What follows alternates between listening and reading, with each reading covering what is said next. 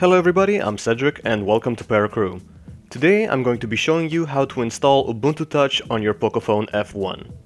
Before we begin, make sure to back up all the data on your phone as it will be erased during the installation process. Also, before installing, make sure that you have unlocked your bootloader, installed a custom recovery like TWRP, and have ADB and Fastboot installed on your computer. In case you're missing some of these things, I will have links in the description with tutorials on how to do them. Now that we've got these things out of the way, we're first going to download a Lineage OS 16 build, which we are going to flash before Ubuntu Touch, to get everything, including the firmware and vendor partitions, set up correctly.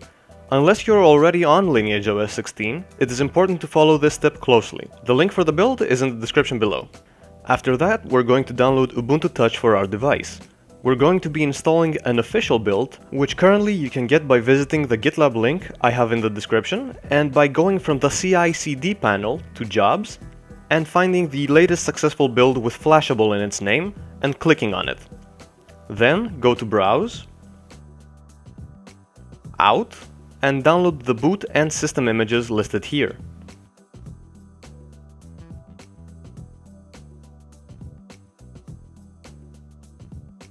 When the downloads are complete, connect your phone to your PC and copy the Lineage OS 16 zip to it.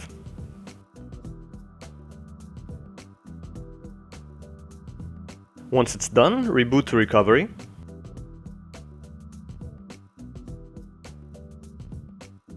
And wipe Dalvik, cache, system and data.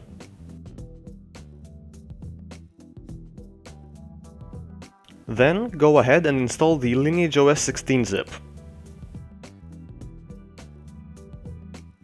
When the installation is done, reboot to fastboot mode.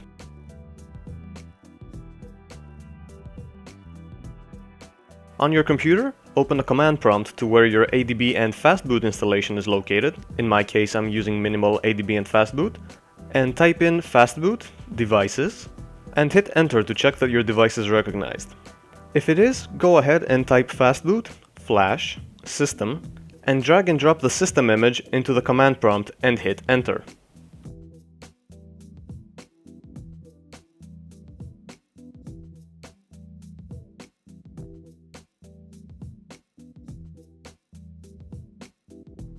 When it finishes, type in fastboot, flash boot, and drag and drop the boot image and hit enter.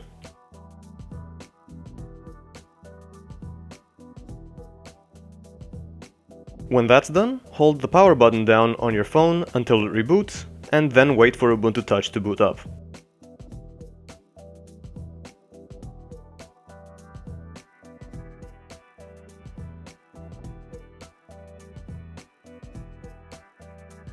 Once it has booted up, just go ahead and complete the setup, and there you have it, Ubuntu Touch is running on your phone. One annoying thing that you will notice is that the notch support is currently kind of spotty.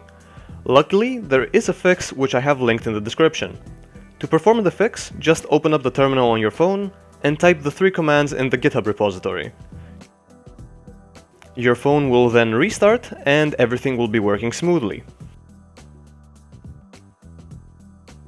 Do let me know in the comments section how you're enjoying Ubuntu Touch on your Pocophone F1.